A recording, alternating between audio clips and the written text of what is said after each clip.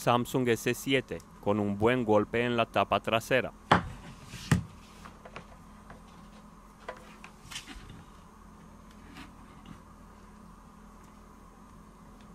Vamos a comprobar si carga. Parece que no.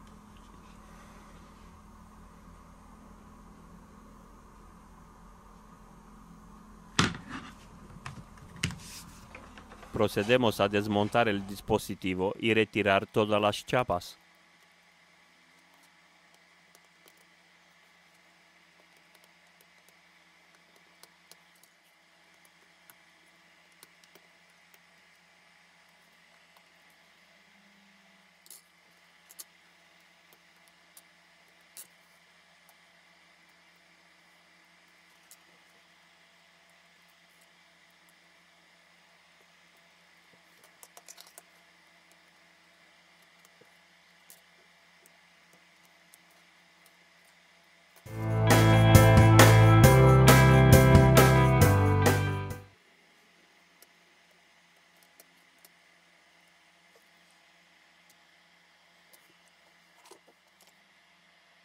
Utilizamos un alicate de corte para cortar las chapas del medio.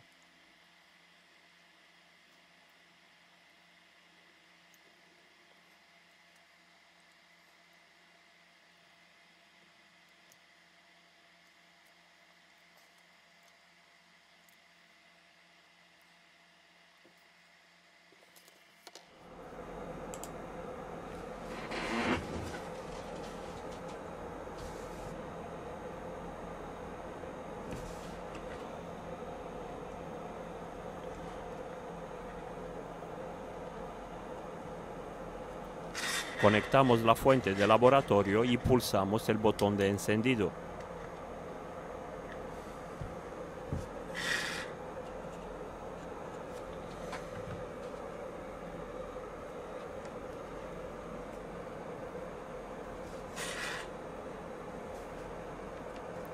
Observamos un consumo de 52 mA en la parte superior de la placa base.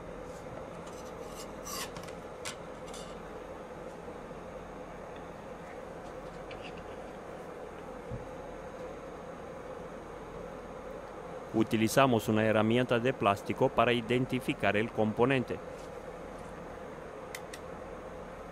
Nunca hay que utilizar una pinza metálica.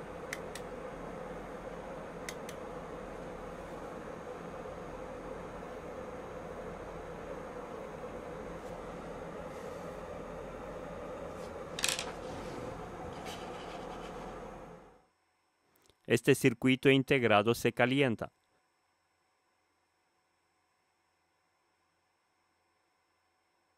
Vamos a buscarlo en Google.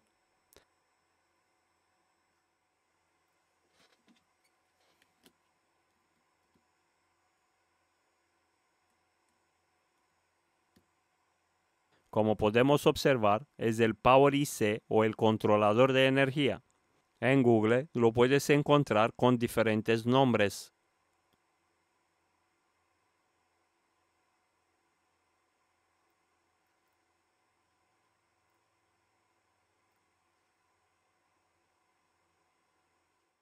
En la descripción os dejo los enlaces de las herramientas y los repuestos que utilizamos.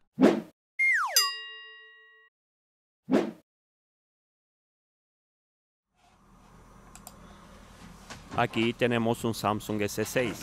Le conectamos el cargador para ver si carga o no.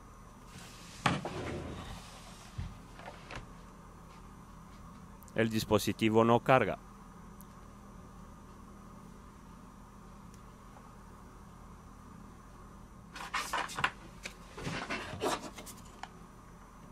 Para levantar la tapa trasera utilizamos una carta de plástico y limpia contactos.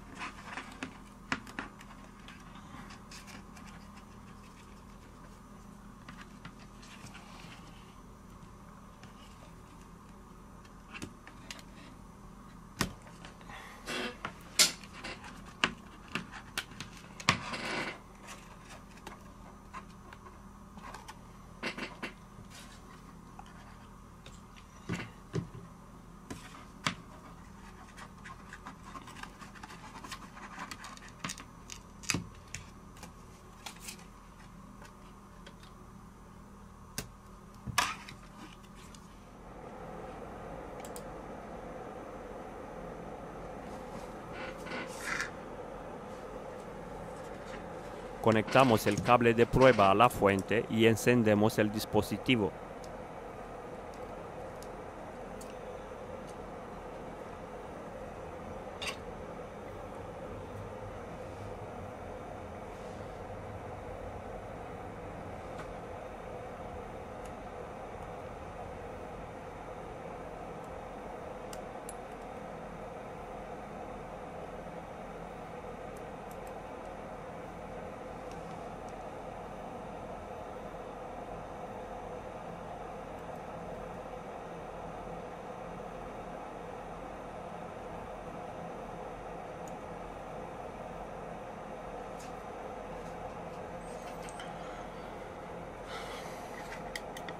Se me ha olvidado encender la e-Power.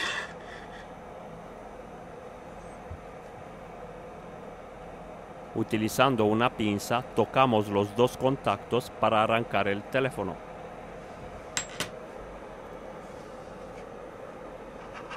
Parece que el Galaxy S6 se enciende, pero no da imagen.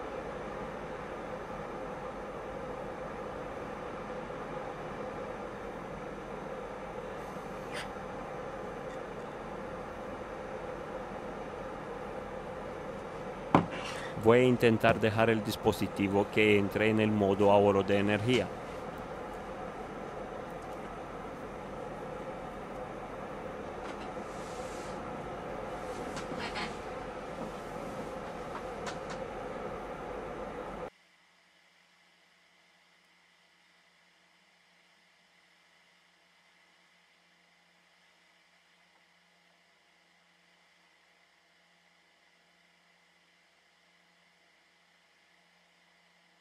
Podemos observar un consumo de 3 miliamperios, que es un consumo aceptable. Hasta los 4-5 miliamperios es un consumo que no va a gastar mucha batería. Si superamos esta barrera, entonces la batería va a tener un consumo exagerado. Más amperios tenemos en la fuente, menos va a durar la batería al cliente. Tenerlo en cuenta.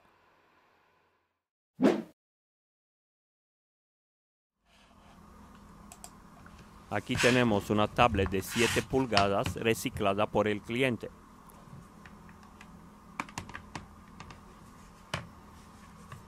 Podemos observar que tiene la pantalla LCD rota. El cristal o la pantalla táctil parece que está bien.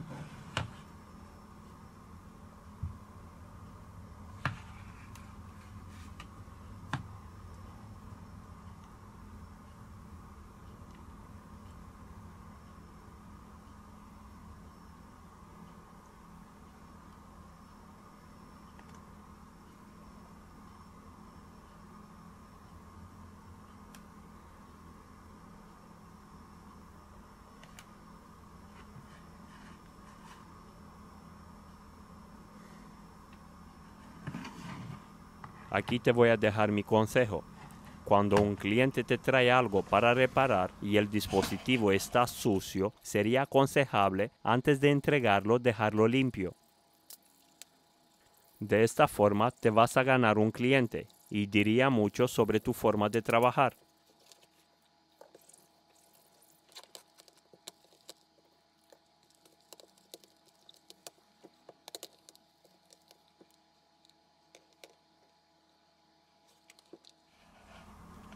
Vamos a desmontar esta tablet para ver qué componentes trae.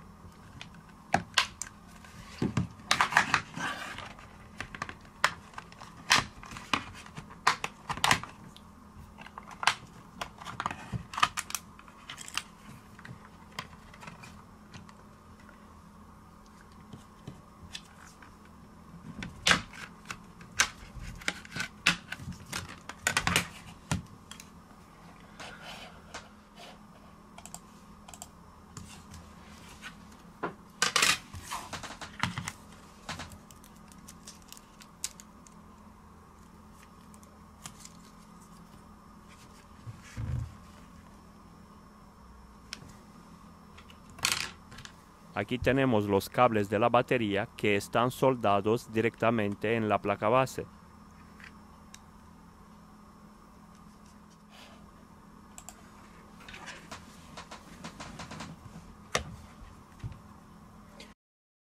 Para cambiar la pantalla tenemos que apuntar estos numeritos del flex y de esta forma buscarla en nuestro proveedor o en AliExpress.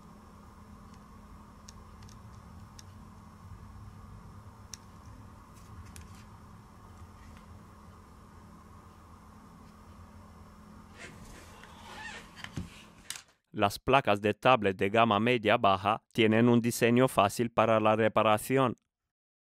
Este es el PMIC porque tenemos alrededor todas estas bobinas.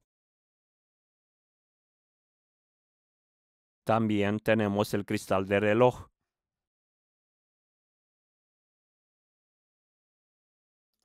Seguimos con la memoria MMS, el microprocesador, la memoria y el IC de Wi-Fi.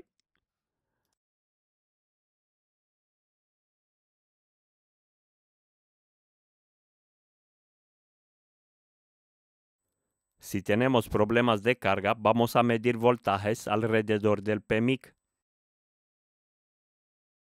Si tenemos problemas con el Wi-Fi, vamos a la zona de Wi-Fi. Al lado del CPU tenemos este cristal oscilador. Aquí, más abajo, tenemos otro cristal. Tenemos alguno principal y otro secundario.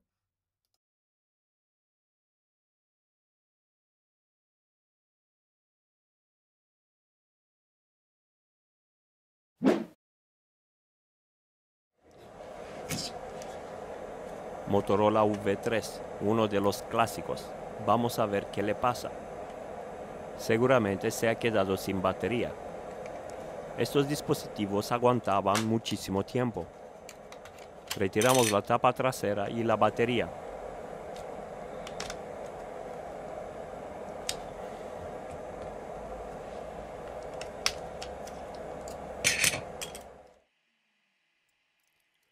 Utilizamos una fuente de laboratorio para ingresar directamente corriente a la placa.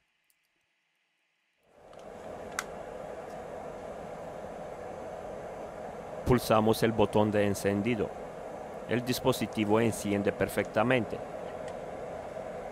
En este caso hay que darle un arranque a la batería.